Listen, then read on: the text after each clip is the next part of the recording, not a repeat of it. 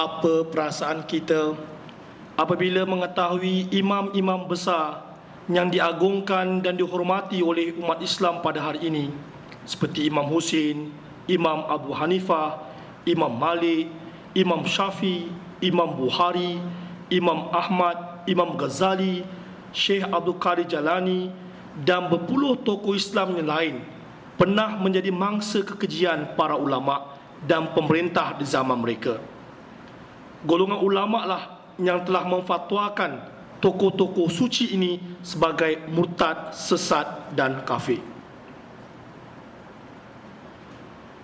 Yang lebih malang lagi ialah masyarakat dan kerajaan yang telah terpedaya dan diperkudakan oleh golongan ulama sehingga menyebabkan tokoh-tokoh suci ini disyahidkan, dipenjarakan, disiksa, dianiaya, dipulaukan dan dicaci maki. Putera para syahid Imam Husin lahir pada 4 Hijrah, syahid pada 61 Hijrah. 100 orang kadi dan mufti Mahkamah Bani Umayyah telah menandatangani dan menurunkan mohon masing-masing ke atas dokumen yang mengisytiharkan Imam Husin sebagai murtad. Keputusan tersebut diketuai oleh seorang kadi Suresh.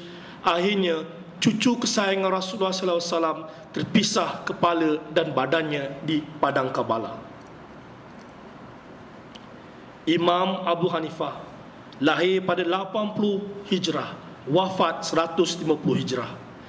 Imam Abu Hanifah telah dipenjarakan dan diracun semasa dalam penjara. Apabila beliau sedar beliau telah diracun dan merasai racun telah berjalan ke saluran darahnya, beliau jatuh sujud ke lantai dan meninggal dalam keadaan itu. Kadi Nur Ullah Suatri telah berkata, Syah Ismail telah mengarahkan makam Abu Hanifah di Kufa dikali kembali dan tulang-tulangnya dibakar. Sebaliknya seekor anjing ditanam di makam tersebut. Beliau telah mengarahkan tempat itu jadikan tandas awam oleh kota Baghdad. Lihatlah betapa hinanya ulama ini yang telah menganiaya tokoh suci tersebut. Imam Balik bin Anas lahir 93 Hijrah, wafat 179 Hijrah. Imam Malik akibat difitnah oleh para ulama telah menyebabkan beliau telah dihadapkan mahkamah seperti seorang penyinayah. Pakaiannya dikoyak, dihukum 70 kali sebat di belakangnya. Belakangnya mengalami luka yang teruk dan kedua-dua tangannya ditarik sehingga terkehil.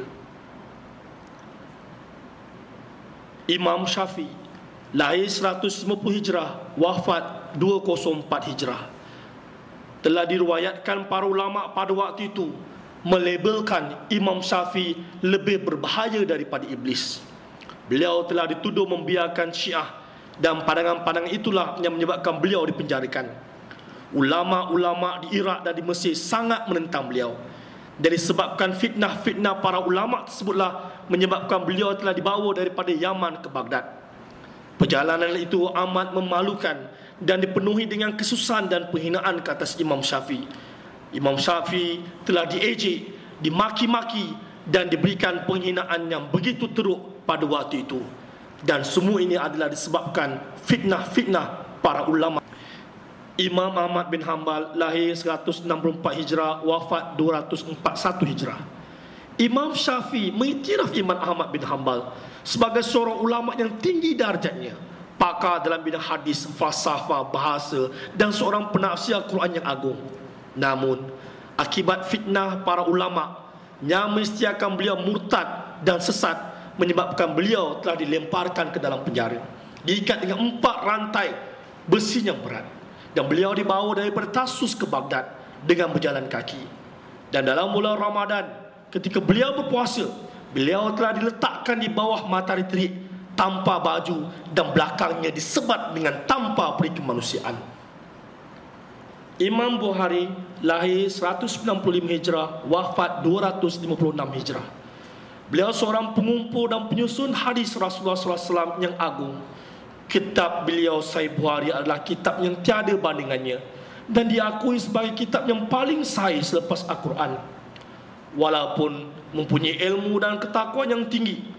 Namun para ulama pada waktu itu telah berusaha dan berjaya sehingga menyebabkan beliau telah dibuang negeri dan juga diistiharkan murtad.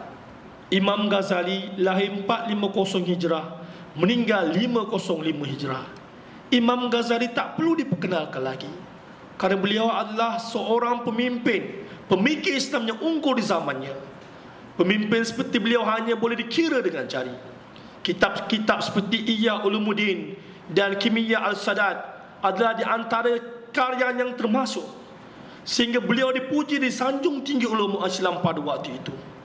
Malangnya, ahli fiqh para ulama Imam Malik telah menyalah tafsirkan pandangan-pandangan Imam Ghazali dan mereka menuduh beliau sebagai etis dan mengatakan bahawa segala konsep-konsep yang diketengahkan oleh Imam Ghazali adalah terkeluar daripada Islam.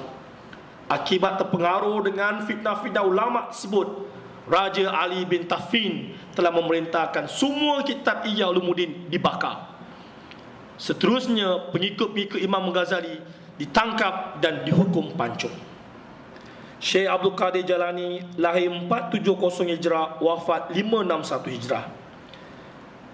Para ulama diketuai Alamana Abdul Farah Abdul Rahman bersama dengan 200 para ulama yang lain telah mengeluarkan fatwa sesat dan murtad kata Syekh Abdul Qadir Jalani.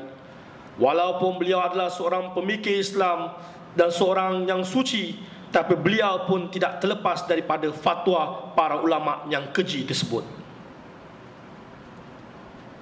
Ibn Rushd lahir 520 Hijrah, wafat 595 Hijrah. Al-Mana Ibn Rushd boleh dianggap seperti matahari di ufuk pengajian dan keilmuan. Beliau seorang ahli falsafah terpakar dalam bidang agama dan perubatan. Beliau juga seorang ahli matematik yang amat terkenal. Tuduhan-tuduhan yang dilemparkan oleh musuh-musuh Ibn Rushd telah menjadi isu yang hangat dan telah menjadi isu negara. Masjid Cordoba telah menjadi tempat perhimpunan para ulama yang hanya bertujuan untuk mengada-ngadakan fitnah untuk membuktikan Ibn Rushd sebagai seorang sesat dan murtad. Akhirnya, Akibat fatwa ulama tersebutlah yang telah menyebabkan Ibn Rushd telah dipenjarakan di Busina.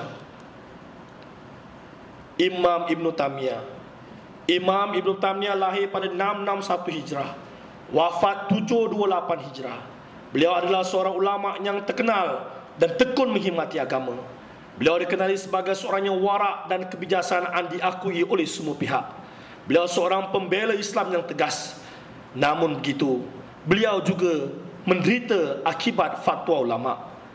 Para ulama telah menganggap beliau sebagai seorang yang sesat dan keadaan ini menyebabkan beliau telah dipenjarakan untuk jangka waktu yang begitu lama sehingga meninggal dunia. Pembunuhan dan penganiayaan terhadap tokoh-tokoh suci Islam tersebut yang dilakukan oleh para ulama telah menimbulkan kemurkaan Allah SWT. Dan inilah merupakan jawapan mengapa umat Islam sehingga hari ini masih tidak terlepas daripada permasalahan dan kemunduran serta perpecahan. Karena Allah SWT mendatangkan azab sesuai dengan janjinya. Dan barang siapa membunuh seorang mukmin dengan sengaja, maka balasannya ialah jahanam. Ia akan menetap dalamnya dan Allah murka kepadanya dan melaknatnya dan menyediakan baginya azab yang sangat besar. Surah An-Nisa ayat 93. Perhatikanlah firman Allah SWT ini sebaik-baiknya. Pembunuhan ini sebenarnya bermula daripada isu yang mengkafirkan. Dan isu yang mengkafirkan ini selalunya dimainkan, dikeluarkan oleh para ulama yang keji, yang dianggap oleh Rasulullah SAW sebagai sehina-hina makhluk di bawah kolong langit. Kalau dikaji dengan lebih teliti, setiap abad ada sahaja tokoh-tokoh suci Islam yang difatwakan sebagai sesat dan kafir oleh para ulama di zaman mereka.